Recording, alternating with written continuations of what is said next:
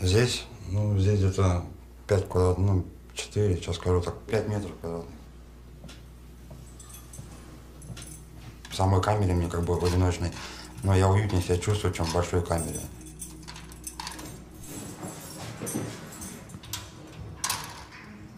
Могу полностью посвятить ну, свое размышление там, о своей жизни, там, ну, о своем существовании. Ну, и здесь как бы комфортный конфликтов ну, ну, не, ну, не существует, чем, ну,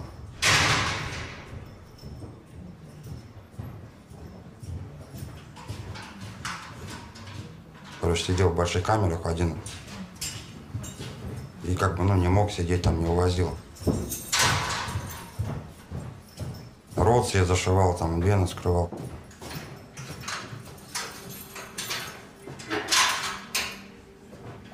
Короче, меня вот на трудом увозили в психологическое отделение.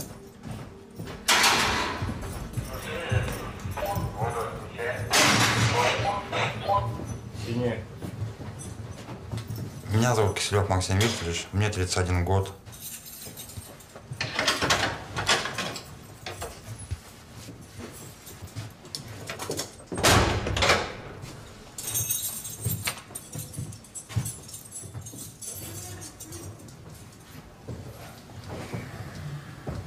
Я вот как бы изучал Зигмунда Фрейда, ну, это, там про фобию и психоанализ, бессознательную теорию бессознательного.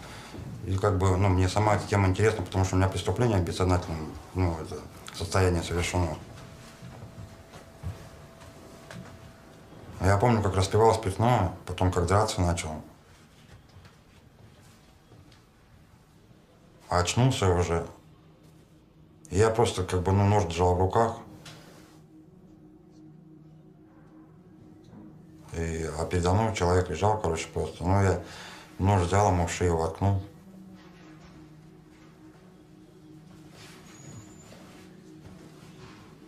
И все. А он оказался живой. Просто спал, короче. Ну, вырубился. Я когда его вырубил, табуретка. Ну, нож вытащил потом, он, короче, задергался. И все, я...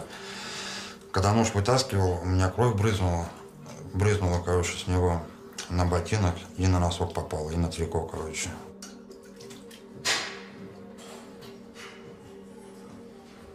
Потом уже, когда я пришел, там шесть трупов лежало.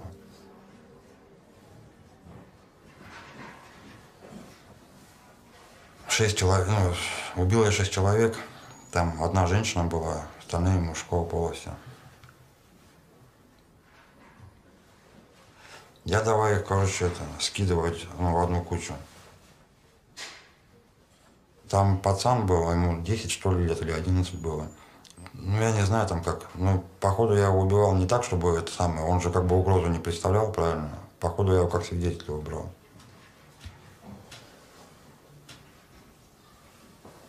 Ну Да, наверное. Вот един, единственное, вот, наверное, за это я только и раскаиваюсь. Не за них, не за кого, только, наверное, из ребенка. Вот, вот.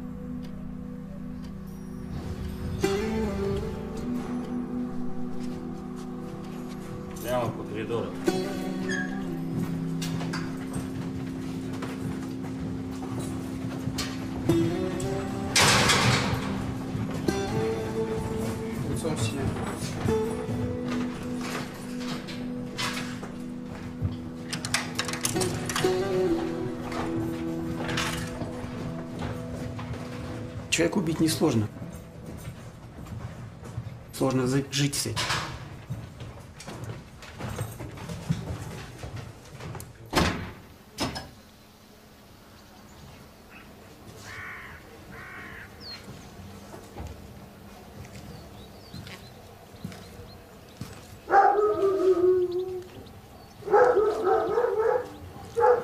Я помню все свои преступления.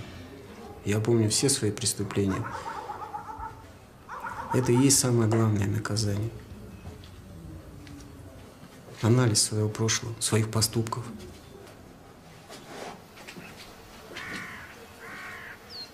Меня зовут Тимиров Тимон.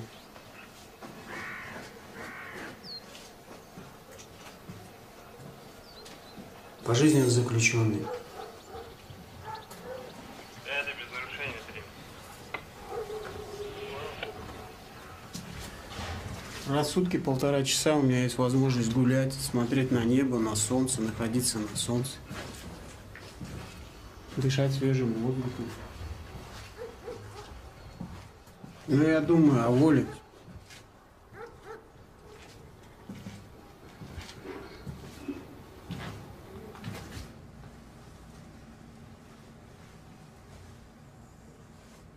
Каждый человек рождается с определенными способностями. Вот я, например, рос- я считаю так на данный момент, что я родился с преступными способностями.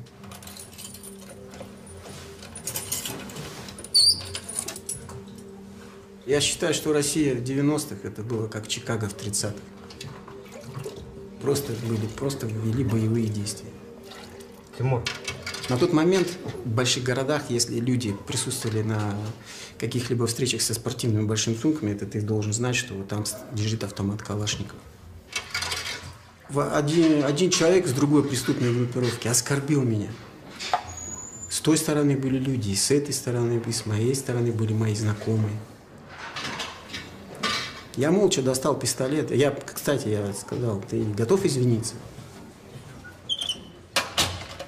Он достал нож и начал угрожать мне. Я молча достал пистолет, выстрелил ему в туловище и два раза в голову. Вот он делает это каждый по-своему. Эпизоды, доказанные судом, что я убивал людей с контрольным выстрелом в голову. Я стрелял два раза за ухо.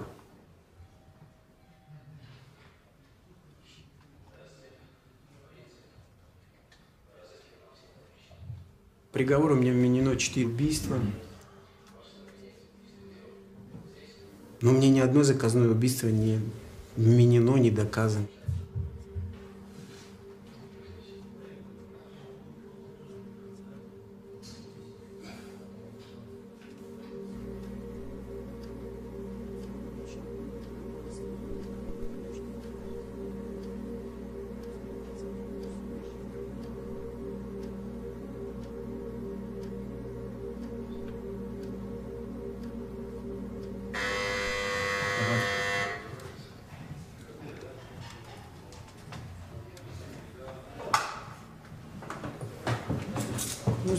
Условия содержания очень жесткие. Находясь здесь, понимая, что ты никогда не выйдешь на волю.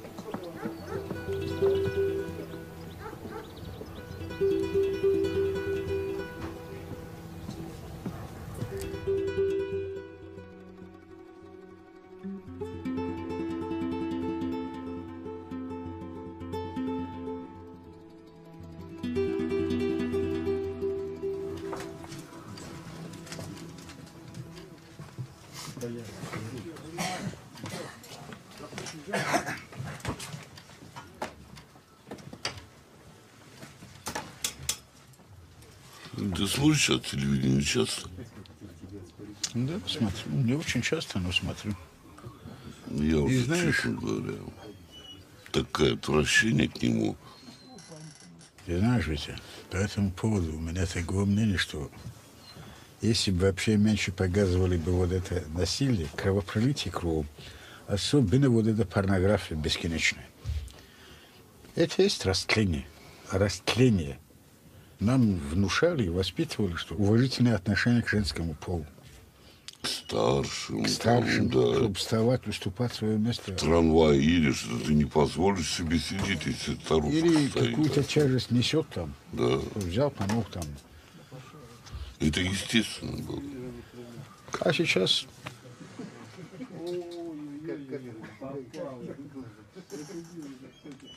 Ты давно письма-то получал из дома? Я? Да, ведь, если честно сказать, я уже где-то около восьми месяцев получаю. Получил. Письма сам пишу, ответов нет.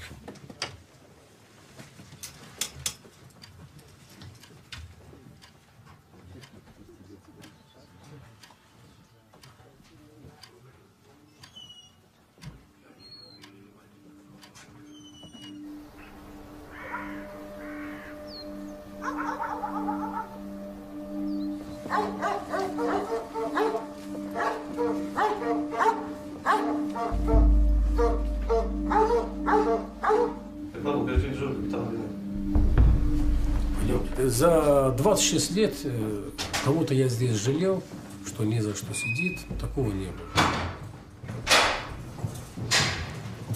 Какие жуткие преступления они совершили? Какие жуткие?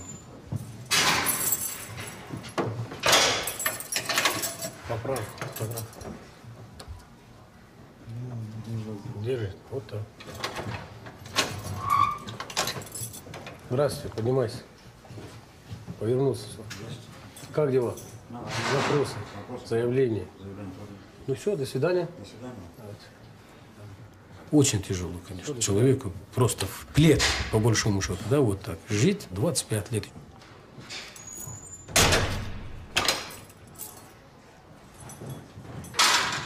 Бывают и такие случаи, у людей просто срывает крышу, в кавычках.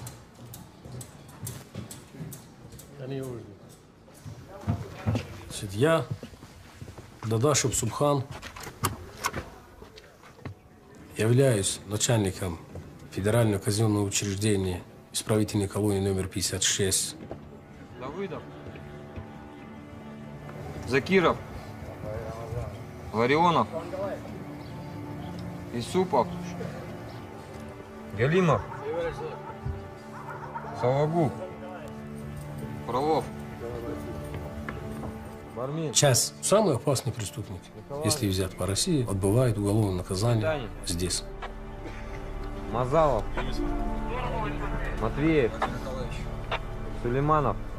И террористы есть, и маньяки есть, и убийцы, серийные, насильники. Я могу смело сказать, что на сегодняшний день в нашем подразделении, в колонии, то есть, невинно осужденных нет. Все они виноваты. Я никого не жалею. Для меня только смертная казнь.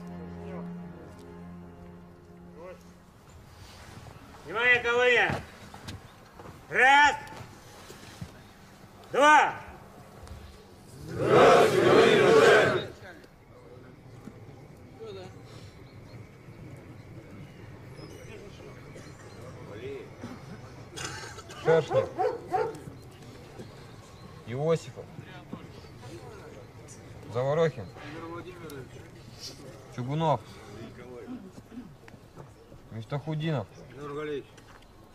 Курбанбаев. Душинин.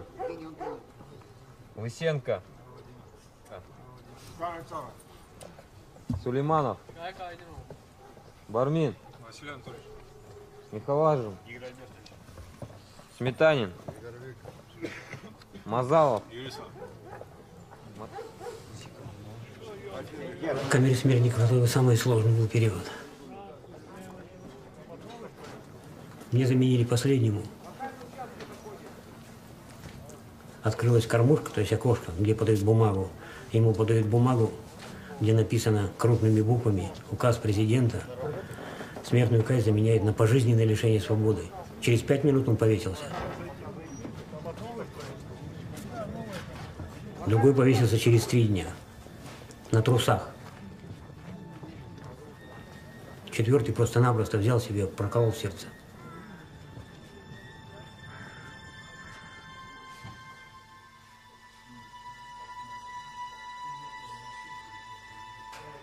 А если бы расстреляли, так честно, ну, избавили от всех вот этих мук, всех переживаний. Отсидеть 25 лет, это неприятное ощущение. Даже такому, как мне.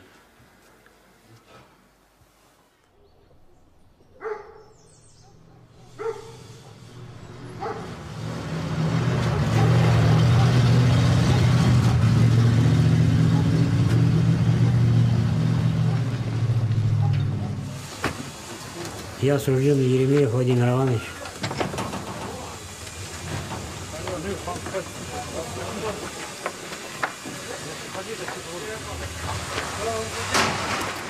Я не убивал людей, нормальных людей. Я убивал негодяев. Вот это давай, хотите? Да здесь она закатится, вот там надо снимать.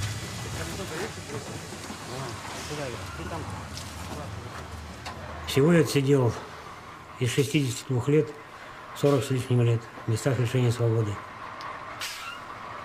Я отсидел больше всех.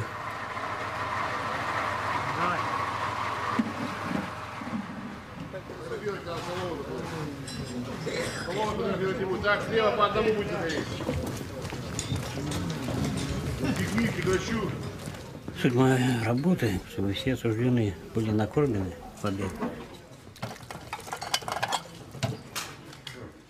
Сытый осужденный уже не способен на какие-то проступки. Голодный – это все.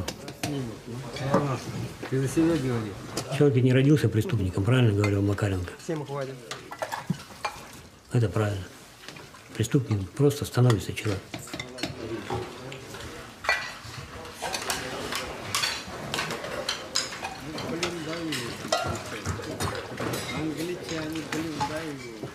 На путь преступления встал тогда, когда был голод в стране. Когда у меня дома две сестренки и брат грызли деревяшки. Не было ничего жрать. Я убил женщину ножом. Здорово, работяга. Патронов жалко было.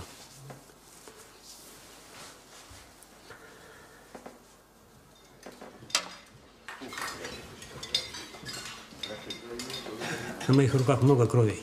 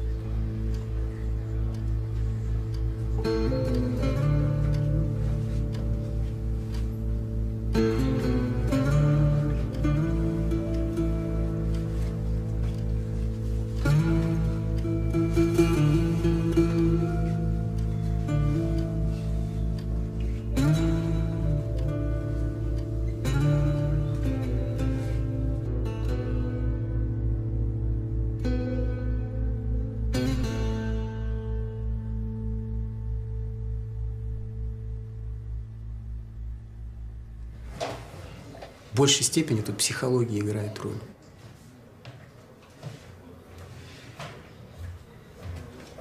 Время здесь Вот обывателю показалось бы, ну что вот его, закрой его в четыре стены и продержи его сутки. И для него эти сутки вечностью покажутся.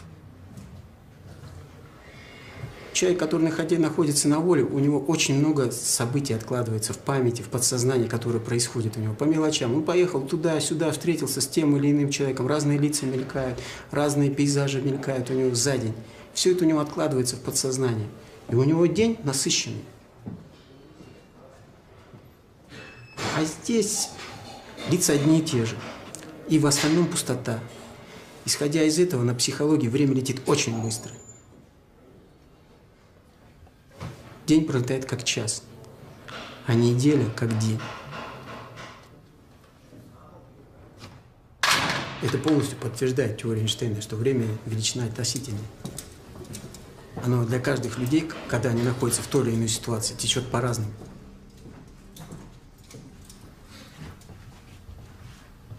У меня время незаметно пролетает. Бывает порой, что мне не хватает времени.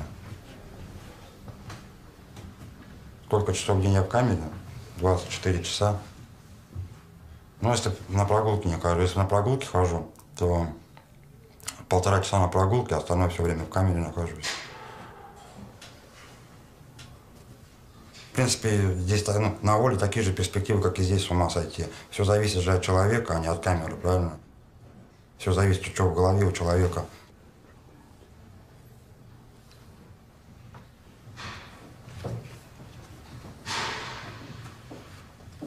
Здесь в камере вот, ну, отвлечься как-то. Вот, места здесь хватает, я встаю, начинаю тусоваться. И чисто как бы ухожу в аутизм, да, и строю как бы там у себя такую жизнь, знаете, иллюзорную, там, ну, как бы внутренний мир сам себе расписываю. Ну, он приятнее, чем реальность жестокая.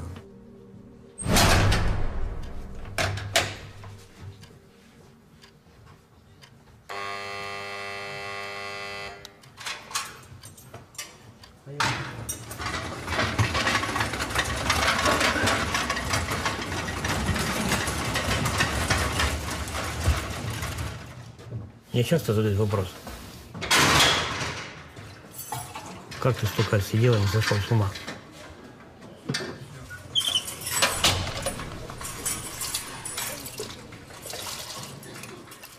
А я и не говорю, что я не сошел с ума. Все мы, кто отсидел один-два раза, они все уже сумасшедшие. Нарушена психика, нарушено восприятие.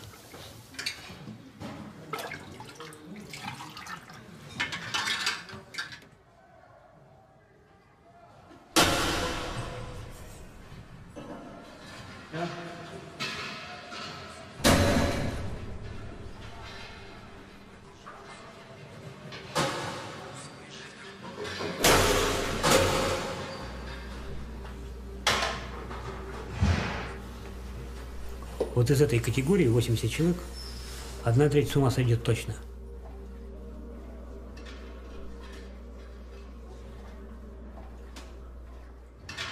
Отсидеть в таких условиях может человек очень сильный, духом.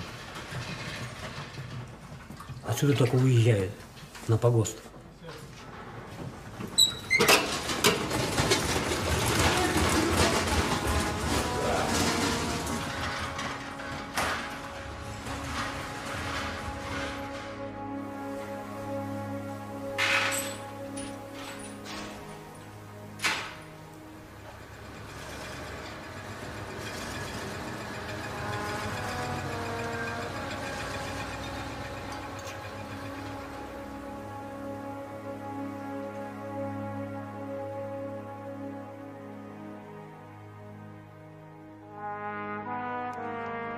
Еще никого не освободили. Вот.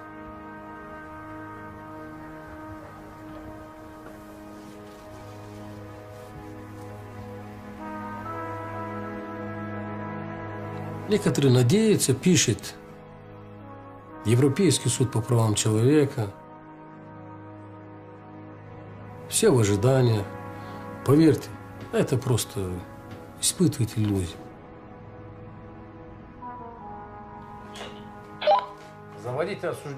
Хруща. осужденных. Вот там где-то. Я вот э, порой вызываешь, ты беседуешь. А что ты пишешь туда-то? Что? Строгий режим. Этот человек, когда тонут в море, да, хватается за соломинку. Думаешь, что спасет. Тут то же самое же. Так. И сколько, как время прошло здесь? 16 лет. Думаю, что на пользу. На пользу. Ну и, и быстро, да, наверное? Я как бы с 18 лет сижу, и мне сейчас уже 34 года. -то.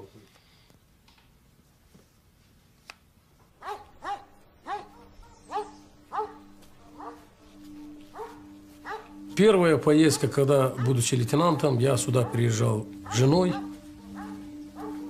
Едем, едем. Она единственный вопрос мне задала. Почему все мы едем и едем в лес, встречного транспорта нету?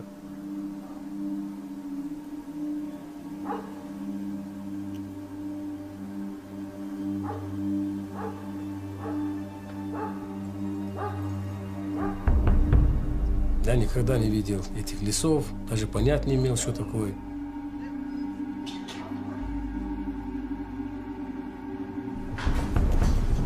Считайте, э, с 20, 24 года не был, когда я сюда приехал. 24, а сейчас 50.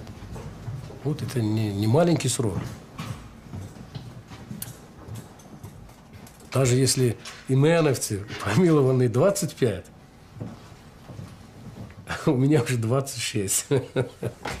Это интересно, так ведь? Это, конечно, шутка. Ну, они-то как бы по приговору, а я по договору.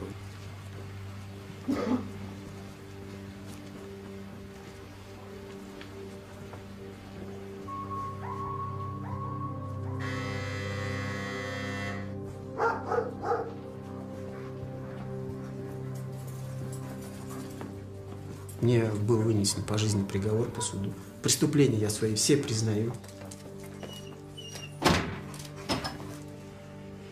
Я убил одного коммерсанта. Я его застрелил на бегу с двух пистолетов, с двух рук. Ну, чтобы не дать им никаких шансов выжить. Другой случай, я убил охранника. Он стрелял в меня. Я получил ранение. Я стрелял в него. Да, я считаю это наказанием правильно.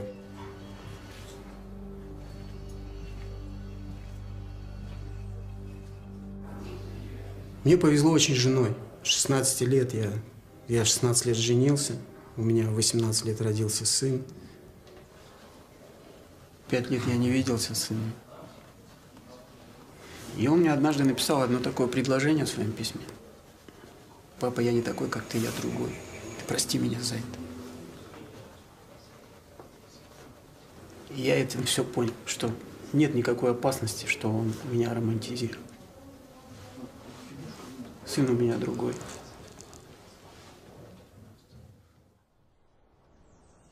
Я занимаюсь, работаю на нефтяном бизнесе. Вот так я говорил своей семье.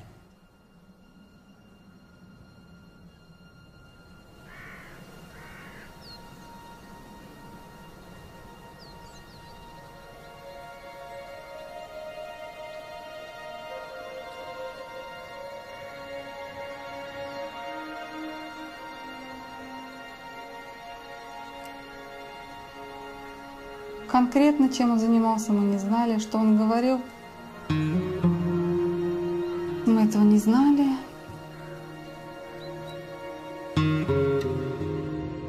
Я его так давно знаю,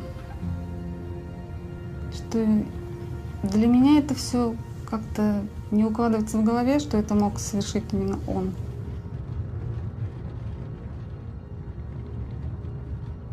Пять лет я не видела его.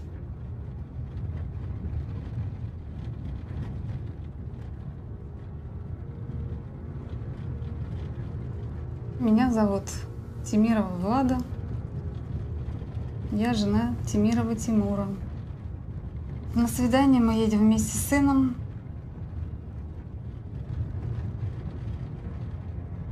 Дорога у нас примерно 60 часов для того, чтобы посмотреть на человека, поговорить с ним всего 4 часа.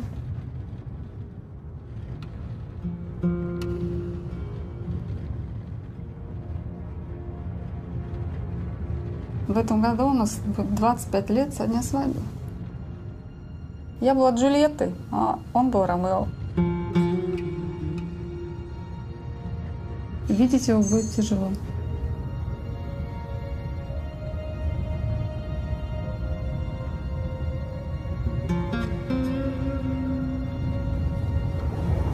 Вы уже приехали? Да. Страшно.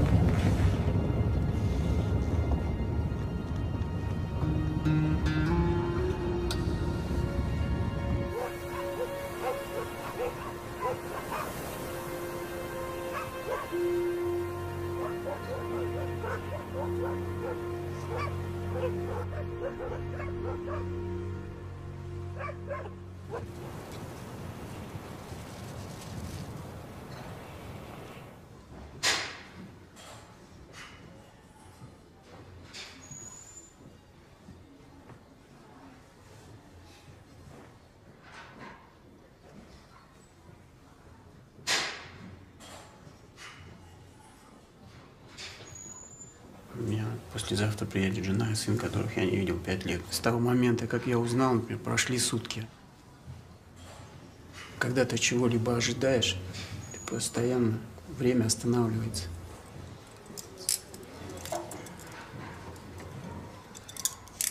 Они для меня очень долго тянутся. Я заметил такой парадокс у людей. Они не ценят того, что имеют в жизни, пока не потеряют.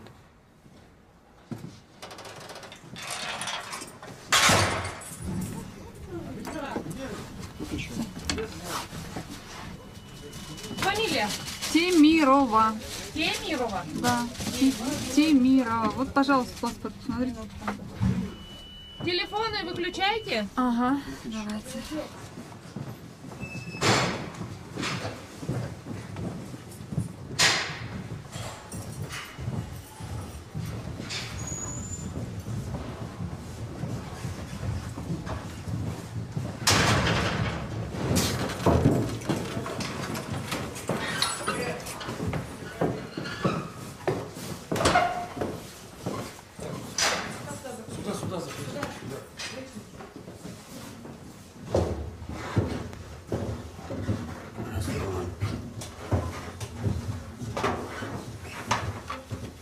Здравствуй.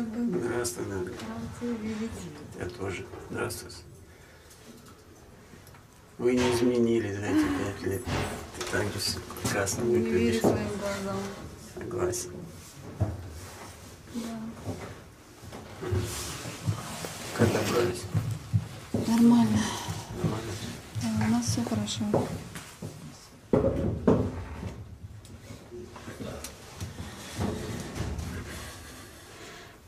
Все тебе передают привет, все тебе так хорошо говорят, все тебе помнят. И рады, что мы едем к тебе. Ты не плачь. Не плачь. не Я надо. уже успокоилась. Успокойся. Все нормально. Ты такая же красивая. Я тебя очень люблю. Время тоже. Я, знаешь, часто думаю, насколько мне повезло с тобой, что я тебя встретил в жизни. И время остановилось, пока я вас ждал. Что сказать, я не знаю. Вроде перед тем, как сюда прийти, а, думал, о чем разговаривать, и были темы для разговора. Все мысли пропали, потому что эмоции переполняют меня. Вот и вся ситуация.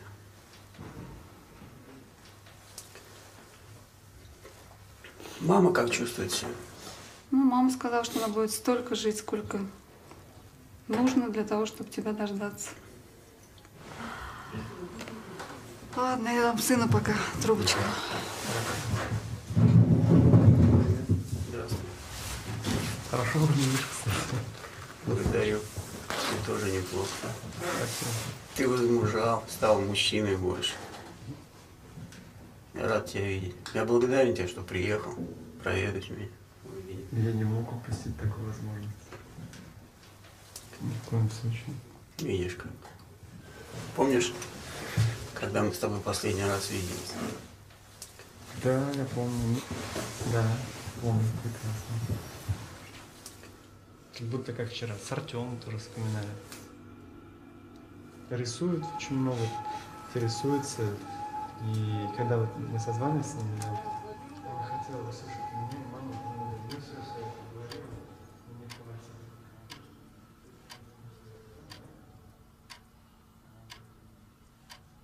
Ну, сын у нас какой вырос, смотри. Ну, мы, же родные люди, мы воспринимаем такие, какие мы есть. Мы одна кровь. У нас есть свои достоинства, недостатки. Мы любим друг друга, это самое главное, мы это чувствуем. И все. Знаешь, сейчас приду, у меня там на крыльях летать буду. Не знаю, что со мной будет.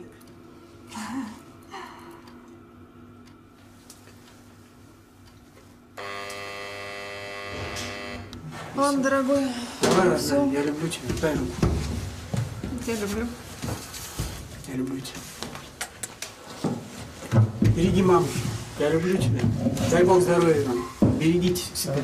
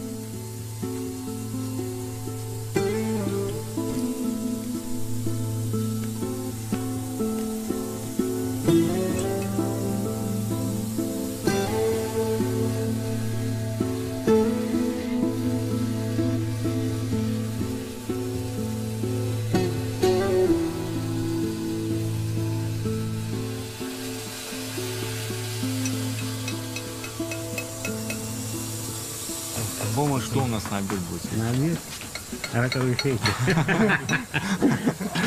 Как всегда.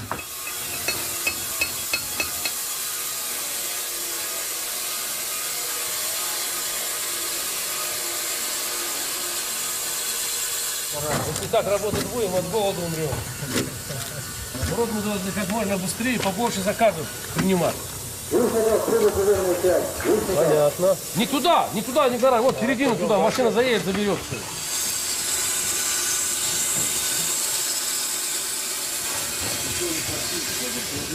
В отсутствие администрации в колонии кто? Рулят зэки, естественно.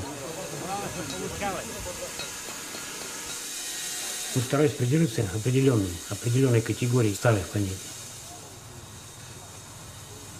Я могу поступить очень жестоко с человеком, который, допустим, обидит и оскорбит невиновно. Жесткий человек.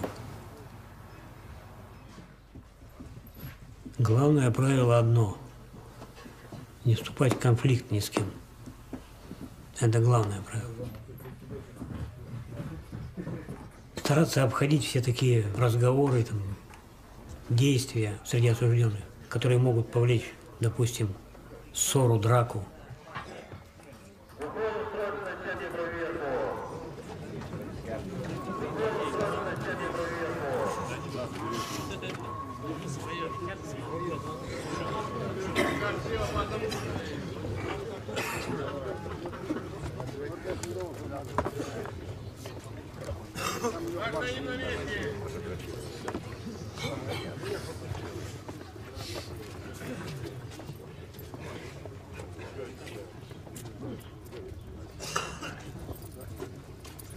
Был такой случай, здесь у нас есть колония, который убил двух девочек, изнасиловал, убил. У нас было общее построение, и он оскорбил одного осужденного. Его ногой. Мы стояли рядом. Вот я ему говорю, я говорю, Коля, ты что делаешь? Категория людей до 80-го, до- ну, до середины 80-х годов, которая была самая презираемая. Их били, пороли, трахали.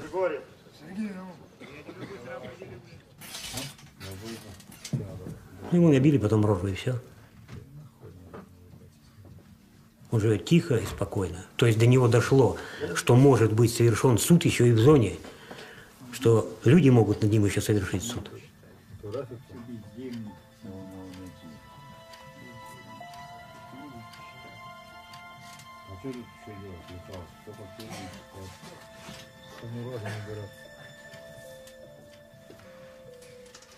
Я здесь нахожусь в этой колонии уже 16 лет.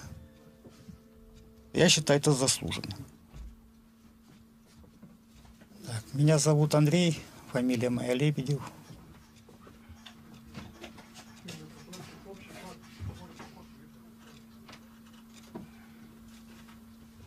Это уже 90, 94 год.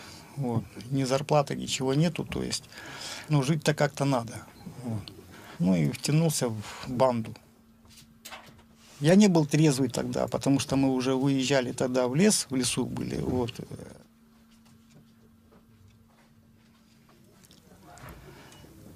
Изнасиловал я девушку, впоследствии потом еще убил ее. Вот. Я ее убил ножом. Я ее в лесу просто там хворостом зак- закрыл. Никто бы об этом и не знал бы. Э, Просто через некоторое время меня ножом пырнули. Вот. И когда уже лежал в больнице там, и вот тогда я уже это, милицию вызвал, признался в этом убийстве, показал, где труп совершил, все это. Потому что я понимал, что если бы я продолжал бы так же жить, вот, я бы сам по себе, я бы никогда не остановился.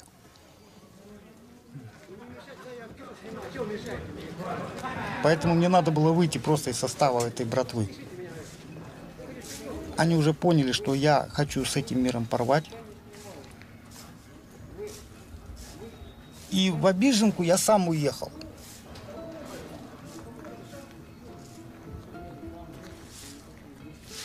Тюремные по тюремному самая низкая каста. Если он там, допустим, ребенка изнасиловал или там мальчика там изнасиловал, это уже все. Его не уважают. Он никто после этого. Это наказание как бы. Вот. И его, из него делают обиженного. Вот. Зовут меня Некращук Михаил Иванович.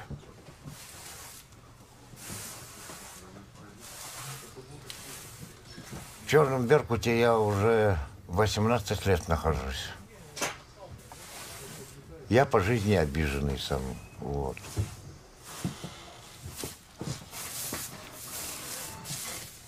А так в плане, в плане в бараке,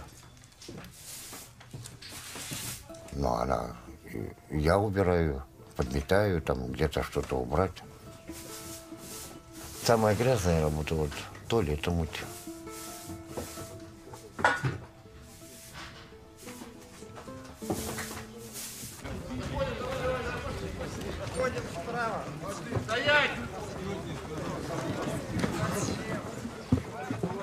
Как правило, в столовых они пользуются только своей посудой.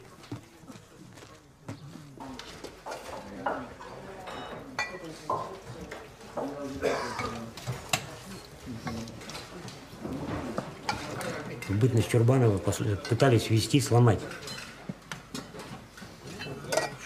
В 70-х годах пытались это сделать, чтобы все ели с одних мисок. Результат, это ни для кого не секрет, во многих колониях, в десятках, сотнях колоний были убийства.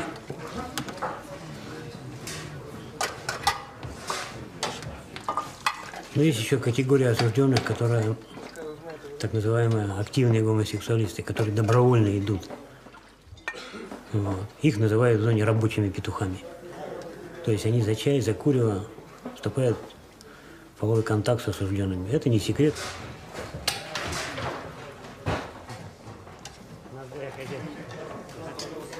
Сам-то я, ну, чисто про себя я говорю. Вот. Чисто я по воле такой человек. Я такой и родился, меня тянет наклонности к мужчинам. Вот. Подходит человек, мужик, подходит к нему. ну что, пойдем с тобой туда сходим. Ну, и он смело идет, без всяких задних мыслей идет, соглашается. Они этим зарабатывают. Где-то заварку, где-то там пачку сигарет они найдут. На воле я даже вот, честно скажу, не задумываюсь об этом. И куда вот мне идти? Я-то сам не знаю, куда мне сейчас идти. Как бы вам сказать, то, что я уже в эту как бы впился, она для меня как бы ну, второй дом. Я как-то уже привык к нему. Вот какой есть, такой есть.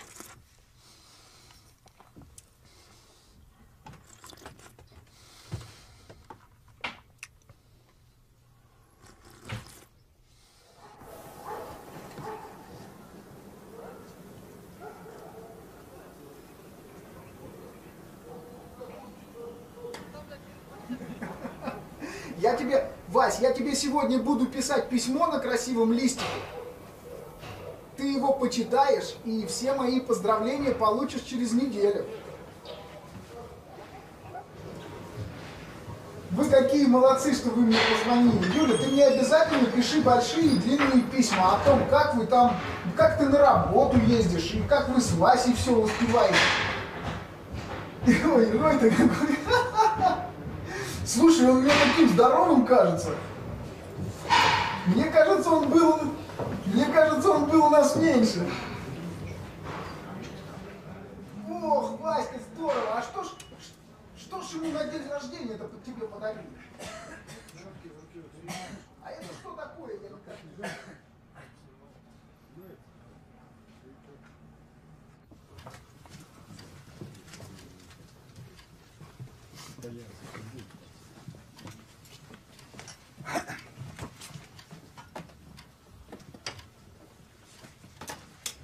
Я получаю письмо совершенно от незнакомой э, девушки. Э, Дело в том, она не просто так мне написала, что вот она написала из-за того, что у нее было несчастье, ее убили отца. И она сама была изнасилована в 14 лет. Просто узнать такого человека, который вот совершает преступление, убийство, там, изнасилование. Вот она хотела просто понять вот это. И вот у нас такая переписка с ней пошла. Мы переписывались с ней почти 6 лет. В дружбу перешло. Я жене своей сделал предложение, и она согласилась, да?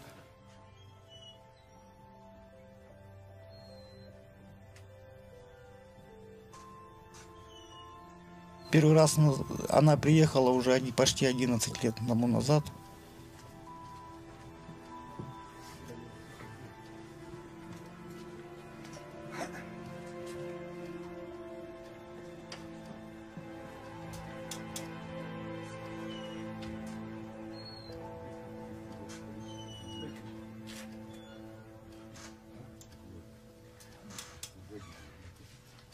Сейчас у нас уже с ней двое.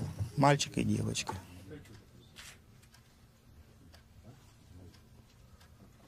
У мальчика уже 7 лет. В этом году в школу пойдет. А девочке 5. 5 лет.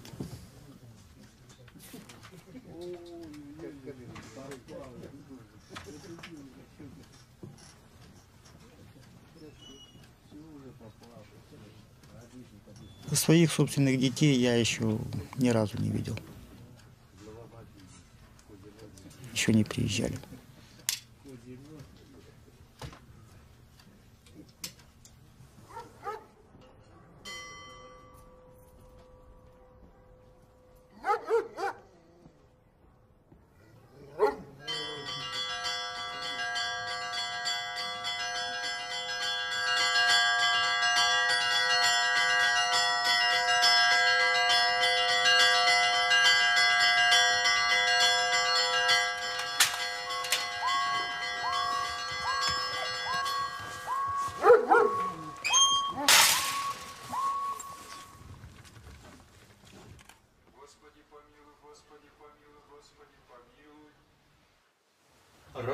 Радуйся, род человеческий, Рождеством своим возвеселившая. Радуйся, сетование чающих утехи Израилевой на радость приложившая.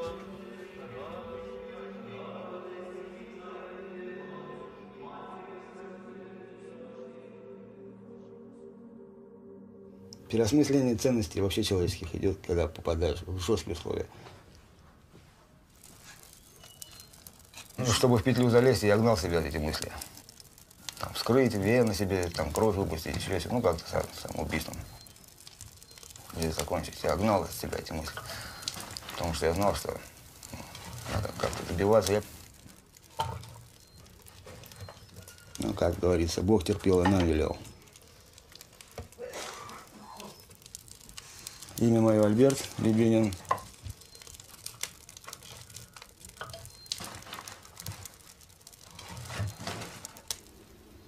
Из 25 лет я отбыл 19 с половиной вот, за умышленное убийство. Ну, в общем, как бы, не желаю их ни смерти, ни... Мне сложно об этом сейчас говорить, понимаете. Столько лет прошло, я уже как бы смирился со всем этим.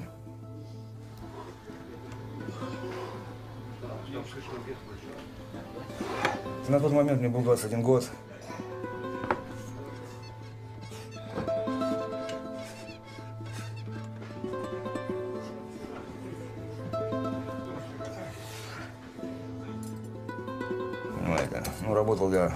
Муниципальном как бы предприятии на кладбище, вот, смотрителем. Вот, Ну и там со сторожами тоже жили выпить. Слово за слово, передрались. Вот и всё. Ну, в общем, четыре человека. Кого ножом, кого рукой.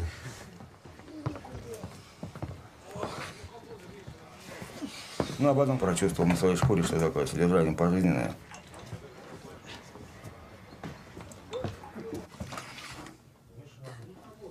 Вот, я был в другой колонии. Ну, просто, просто избивали за то, что ты есть. Без причины. Там неудачная ситуация просто сложилась. Я их просто выплюнул. Часть зубов. Благодаря той администрации.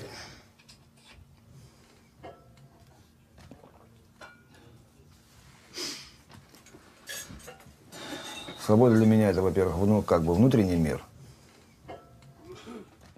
Игорь, я туда все поставил. У меня дочь меня уже внук растет.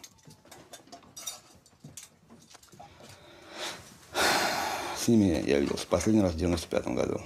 Вы понимаете, что это такое? Вот так. Вот, пожалуйста, вот моя дочь. Я с 95 года ее не видел. Вот такая она у меня стала. Взрослая. Замужем. А такая она была, я последний раз ее видел. Маленькая. Это был 95 год. Вот это вот внук, внук у меня растет.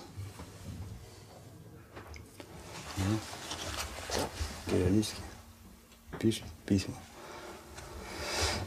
Ну, сами понимаете, супруга столько лет ждать не будет. А ребенок что? Ребенок ни при чем. Ребенок есть ребенок.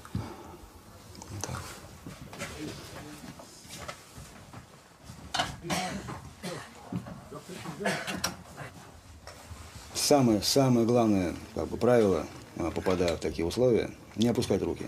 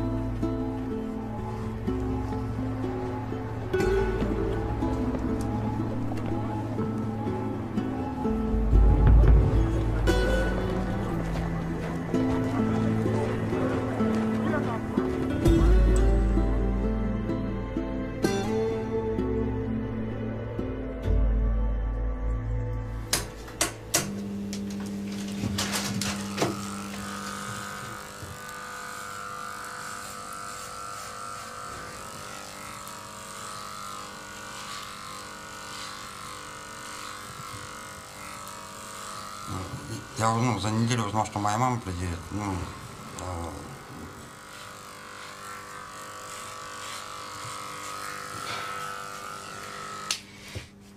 Ну вот и все. я ее не видел пять лет. И тогда вот день перед убийством, когда я поехал, она меня просила, чтобы я не пил, держал себя в руках, а я ну, не послушался ее и просто как бы напился и убил людей. Такое.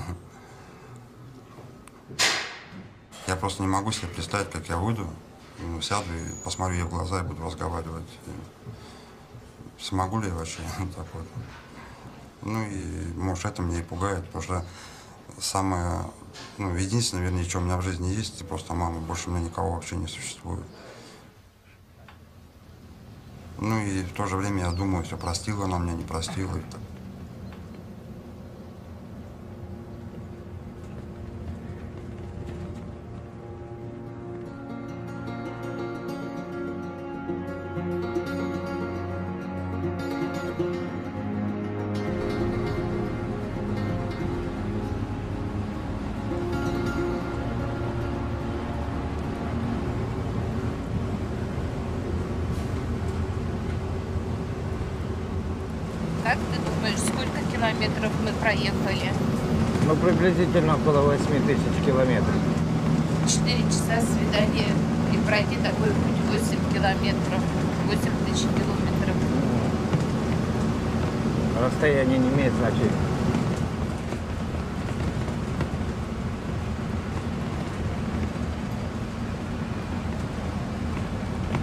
Когда я думаю о Максиме, то есть черты вот лица, вот телосложение его, как я его запомнила, как он выходил последний раз из дома.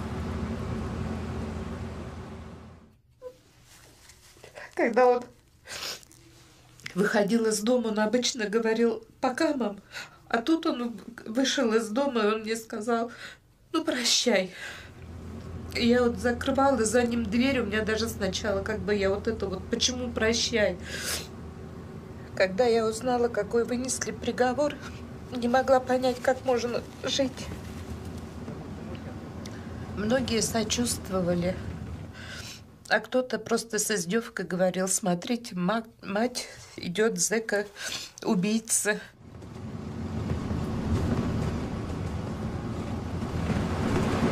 Главное только сдерживаться, чтобы он не видел слез. Успокойся, все нормально. Думаешь, ему сейчас это легко? Он сейчас тоже весь на нервах. Вышли стоят. Похоже, уже подъехали.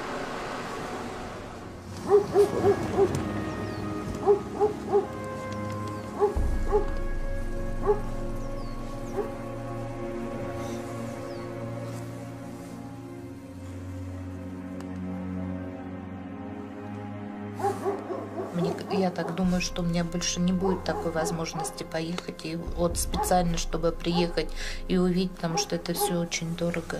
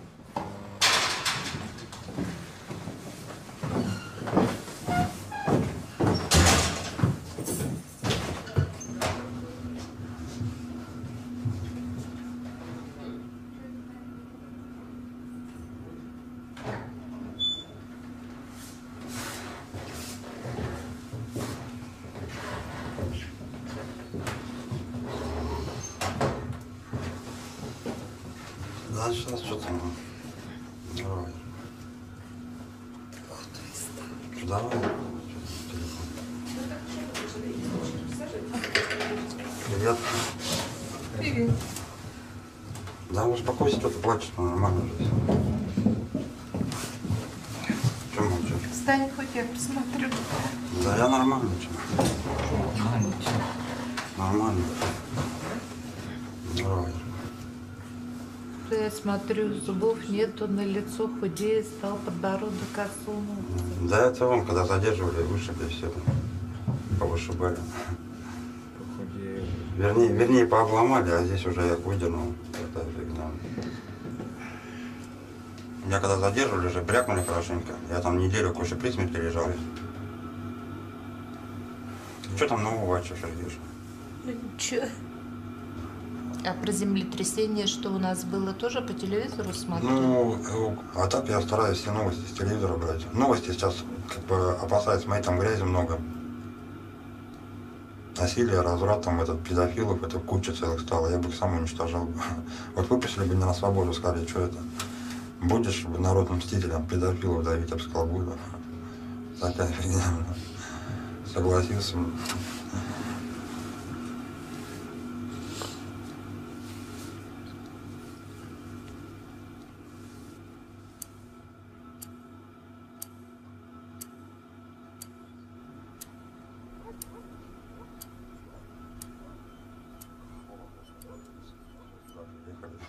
А как ты говорила, помнишь, говорит, не пей? Выпили. Ну, и все. Теперь вот здесь. Пачек так не стоит плакать. Надо смеяться, наоборот, смех жизнь продлевает, а слезы убивают, наоборот.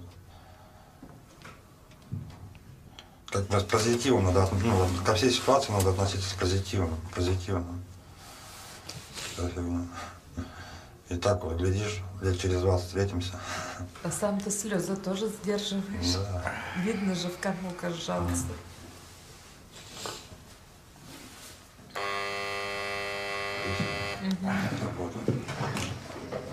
Ладно, сына, все за нами. Ну давай, я тебя люблю. Давай, мам, счастливо. Мам, не надо, не расстраивайся. Мам, давай. Не расстраивайся, мам.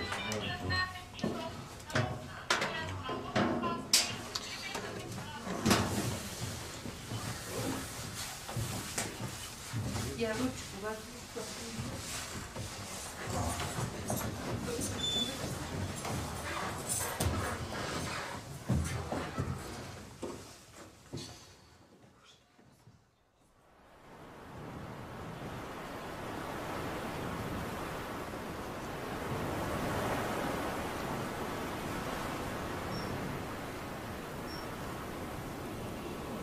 Все, пошли. За ними. Иди, Саня, отстань, отстань. Я так и на режиссера сдам, да?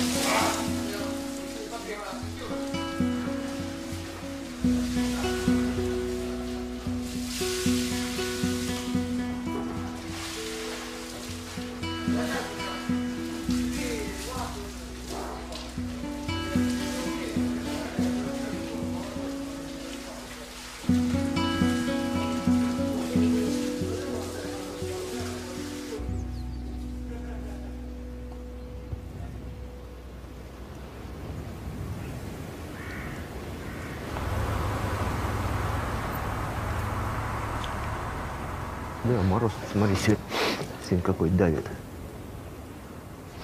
Да, по-моему, по-моему, сегодня ночью было минус 35. Возможно. Да, потому Ну, что, потому что возьми, она сейчас даже солнце светит, а сейчас только не 25. греет, да. Тут еще, видишь, нас что спасать. Нету ни водки, ни отравы никакой. Уже ст- столько лет ты вроде ничего этого не пил. Вот, и поэтому вроде как Уже мо- ты уже понимаешь, что и без этого можно жить.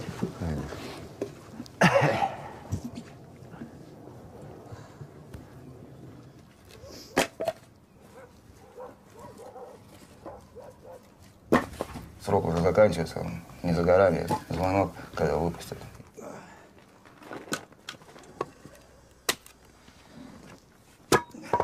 Я вот сколько раз вот себя ловил на мысли, вот, выйдешь за зону, сядешь на лавочку. А что делать? Куда идти?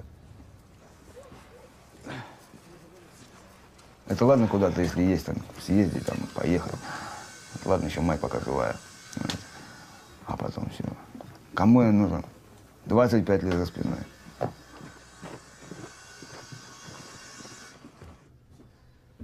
Ну, даже начиная с одежды, машины, даже просто улицы совершенно другие. Манера разговора людей совсем другая. Знаете. Даже на старое место жительства приехать, участковый уже будут так вот смотреть с подозрением. Понимаете?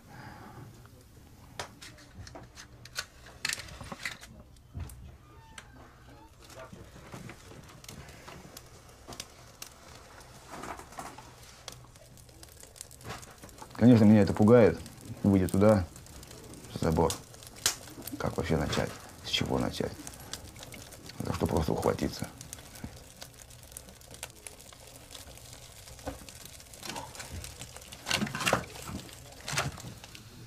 Страх свободы, да.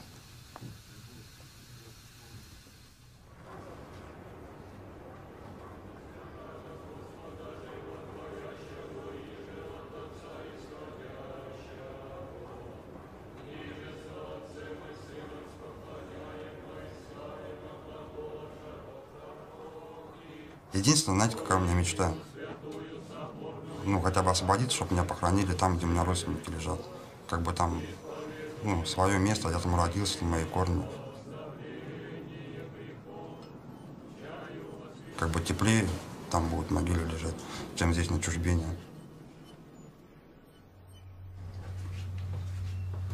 Да, считаю ли я, что для общества опасен, да? Я в этом уверен даже, просто. Потому что выпусти меня сейчас на свободу, я вижу, как красиво люди живут, да, и мне тоже охота будет красиво жить. Я никогда не работал. Ну, устроился на работу, месяц, два, три проработаю. Ага, это плохо лежит, сворую, там, или выпил, там, не сдержался, убил опять кого-то.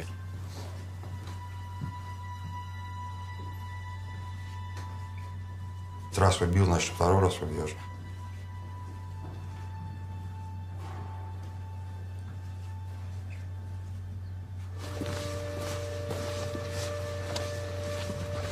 Какие жуткие преступления они совершили?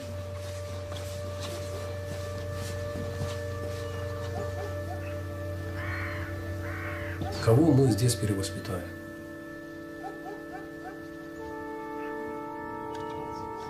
Вот даже элементарно вот этот Чудинов сидит. Сколько женщин? Восемь, да, убиты?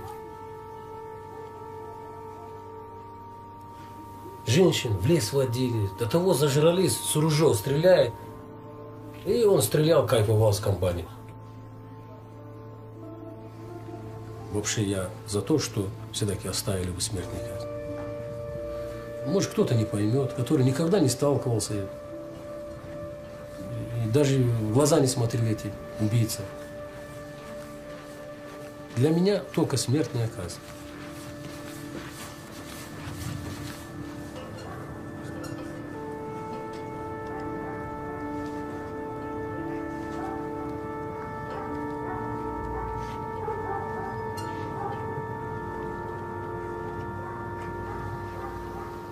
Можно так сказать, если выразиться. Лаконично, я был слепой. А сейчас у меня открылись глаза. Вот и все. Я стал другим. Но другим не так, что вот я там исправился или что-то там. Нет, я другим в духовном смысле стал.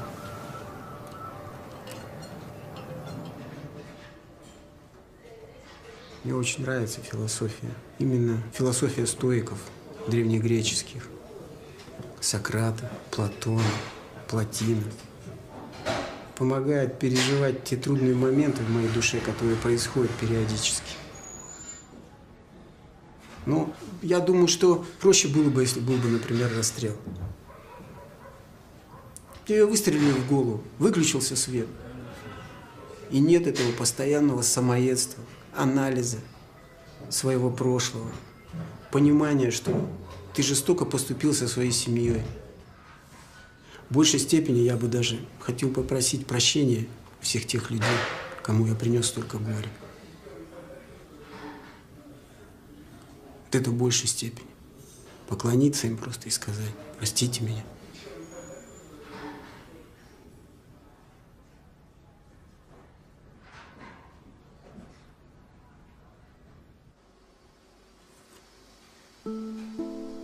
Вот я убил, как я могу раскаяться? Так что раскаяния не может быть никакой речи.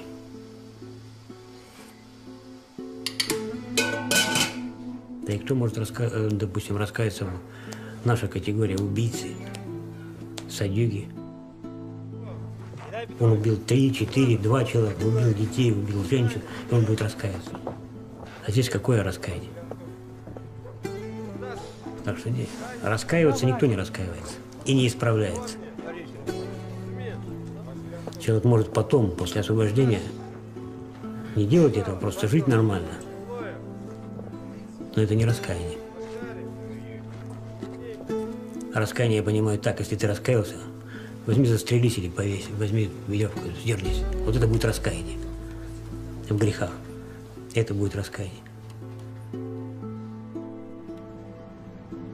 Раскаиваться все будем перед Богом на том свете.